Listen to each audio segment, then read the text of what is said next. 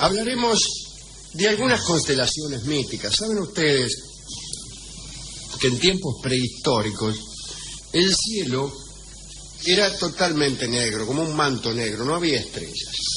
Hasta que llegaron los griegos. Y a partir de una serie de sucesos, tomaron la costumbre de convertir en constelaciones a las personas que protagonizaban algún drama o algún hecho prodigioso.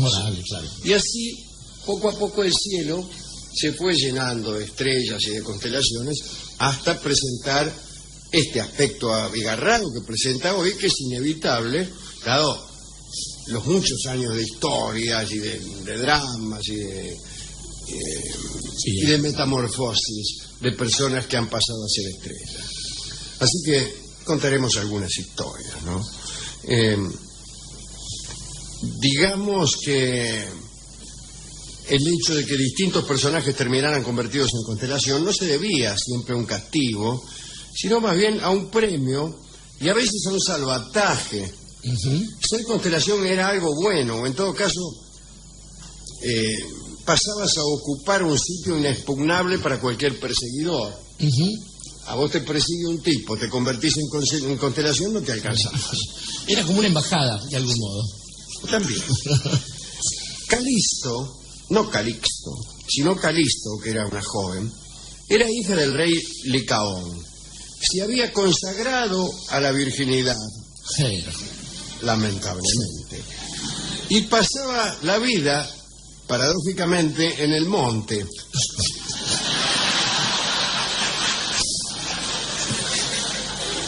Con un grupo de compañeras de, la casta de Artemis. Ya se sabe que Artemis protegía la virginidad y, la caza.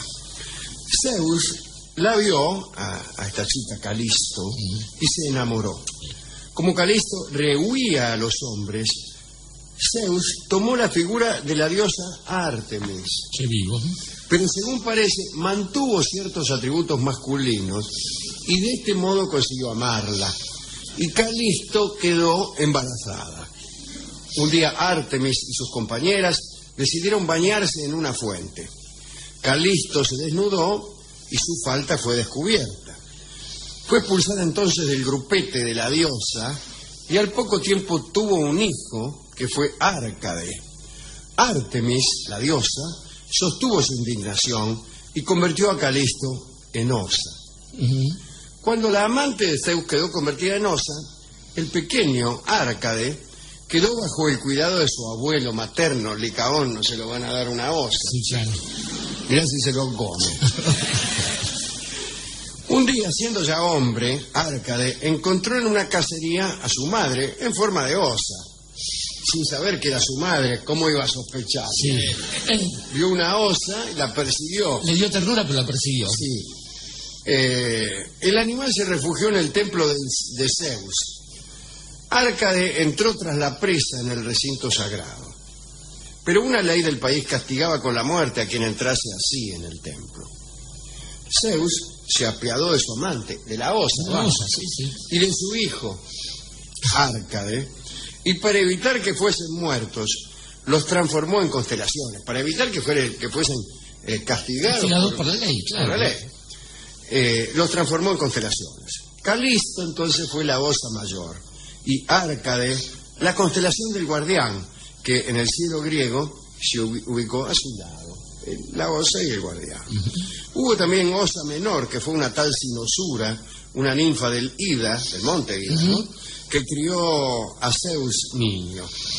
Crono, titán, siempre en guerra con Zeus, la persiguió y el dios, para salvarla, la hizo constelación y la puso de oso menor. Eh, bueno, otro, otro de estos episodios, un momentito que no me ha sido dado dar vuelta a esta hoja. Eh, hablaremos de Demifonte. Era rey de la ciudad de Eleunte, en el Peroneso Tracio. Tracia es esa península al norte y a la derecha de Grecia, que parece una mano. Y que se caracteriza, pues, históricamente se caracterizaba por tener los mejores caballos del mundo conocido. Eh, muy bien. Eh, para terminar con una epidemia, este muchacho de mi fonte, había recibido de un oráculo la orden de inmolar cada año una joven elegida entre las familias nobles de la ciudad. Fue al oráculo, che, hay una epidemia bárbara. Dice, bueno, eh, inmolate todos los años una, una joven elegida entre las familias nobles de la ciudad. Entonces todos los años sacaba una a la suerte, pero nunca depositaba en la urna el papelito con el nombre de sus propias hijas. Ah, qué piola. Democracia.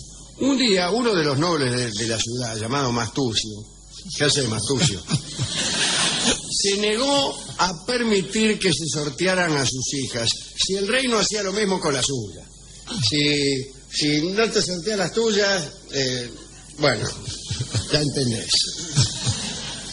Entonces de mi fonte, enojado, mató directamente a una hija de Mastucio sin sortearla.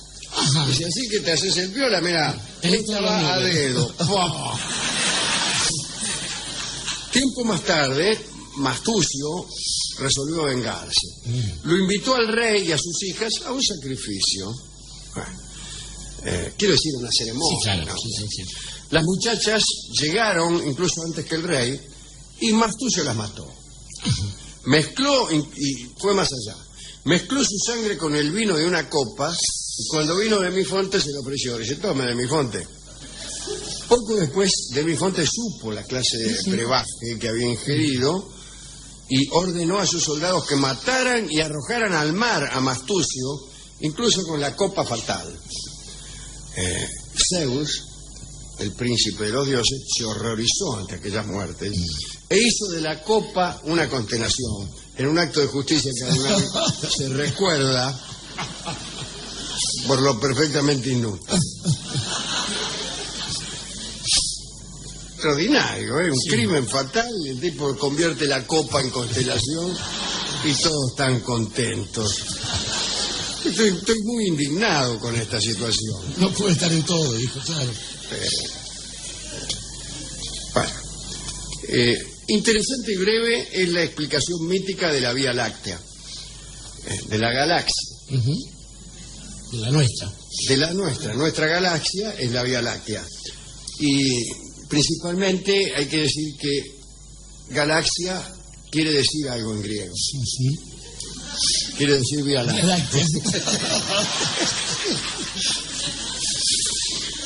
bueno, Zeus, como recuerdan a ustedes, había engendrado al héroe, a Heracles, a Hércules, con Alcmena en el curso de una larga noche prolongado, prolongada por orden suya. Hizo que el sol dejara de salir durante nueve noches para poder atender bien al Almena. La mujer de Zeus, por supuesto, odiaba al producto de aquel prolongado este, amor, Heracles. Eh, porque era producto de una infidelidad de Zeus. Pero eh, Zeus lo amaba y deseaba obtener para él la inmortalidad. Y una condición para obtener la inmortalidad era que su propia esposa era lo amamantase. ¿Cómo hacer que esta mujer que odiaba al niño recién nacido lo amamantara? Se recurrió a un engaño. Hermes, ¿eh? el correveidile celestial, acercó al niño al pecho de la diosa mientras dormía. Y dale, le dijo. Pero de pronto era se despertó y espantada arrojó al pequeño Heracles lejos de sí. La leche que fluyó de su pecho dejó en el cielo una estela. Nada menos que la Vía Láctea. Extraño. Extraño. Ahí está. Chorreando.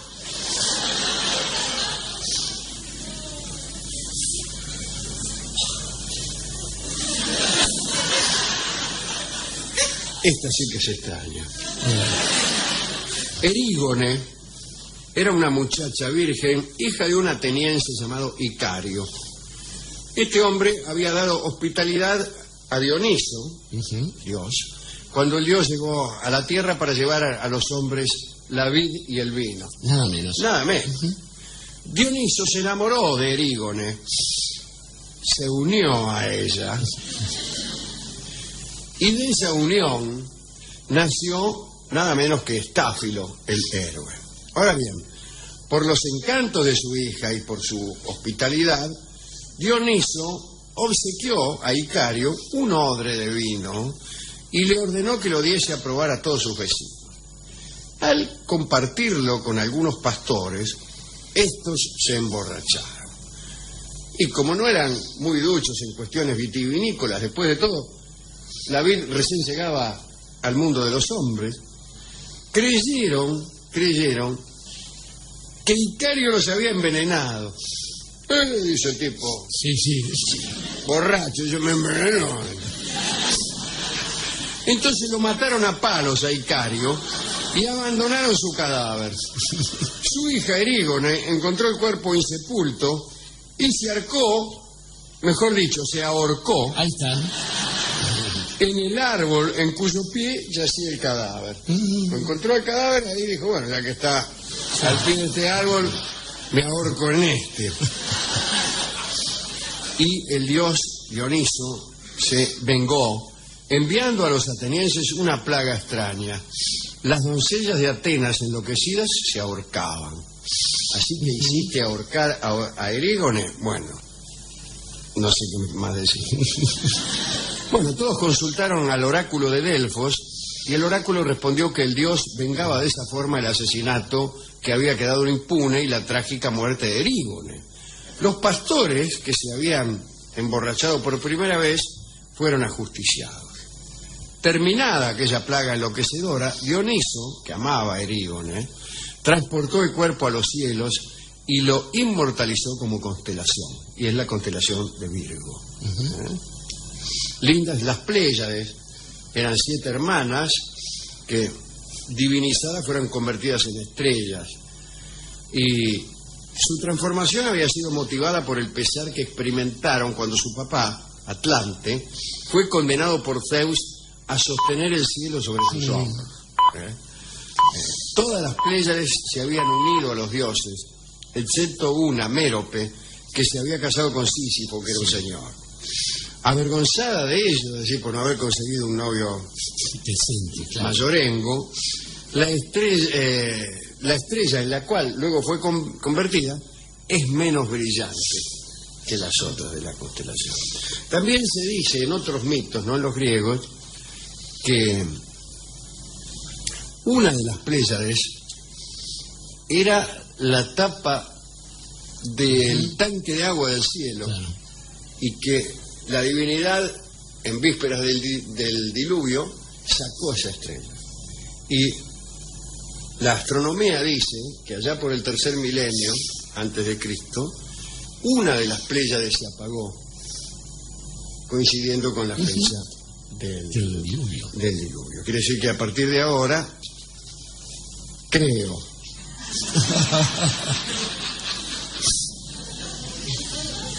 Qué extraordinario, ¿eh? Bueno, ¿le, le- le han gustado estas? Son muy lindas, muy lindas, realmente. Qué cosa, ¿eh? Ujú. Qué cosa. Yo antes no creía en estas cosas. Es curioso, Alejandro, porque si uno piensa en esto, nosotros vivimos en esto que llamamos Occidente, y de hecho, estas constelaciones aparecieron en el cielo de Grecia, que, el mal que nos pese queda en otro hemisferio, a los efectos de creer. Pero de nuestro lado, acá en el sur, eh, hay una historia de los pampas, de los indios pampas, que es muy reveladora. Dicen que Huelcubú o Hualichu, que es el nombre que lleva el malo, una vez descendió a la tierra para, en fin, hacer de las suyas, y que cuando eh, un hombre bueno, de esos que basta que existan como para que el mal no triunfe entre los hombres, lo empezó a perseguir dándose cuenta de que era el mismísimo demonio. Primero, este, Hualichu al verse perseguido corrió como un hombre, pero lo estaba alcanzando el indio, entonces después corrió como una liebre, después corrió como un caballo, y después, cuando vio que el otro aún así lo estaba alcanzando, se convirtió en un ñandú. Y entonces, cuando ya estaba prácticamente entre las manos del cacique bueno, eh, aceleró su velocidad y subió hacia los cielos. Y la última huella que dejó, cualquiera ha visto la, pata de un ñandú, son esas cuatro estrellas que conforman la Cruz del Sur. ¿Quién diría digo que esos símbolos este, a veces se convierten, para la gente como usted, que empieza a creer cuando le explican que ese es el tapón del cielo, se convierten justamente en aquello que nosotros este, no sabemos que nos va a pasar. La cruz fue para muchos indios la llegada de esa confrontación brutal que fue el encuentro de dos civilizaciones donde una siempre pierde.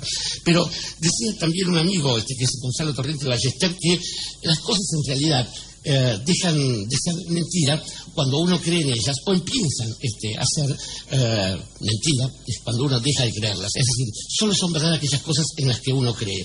Del mismo modo, las estrellas que tienen estos orígenes diversos son las que permiten que si uno cree en ese tipo de portentos pueda pedir algún deseo y uno sabe que cuando uno está debajo de una estrella, uh, when you wish upon a star, entonces todos los deseos se cumplen.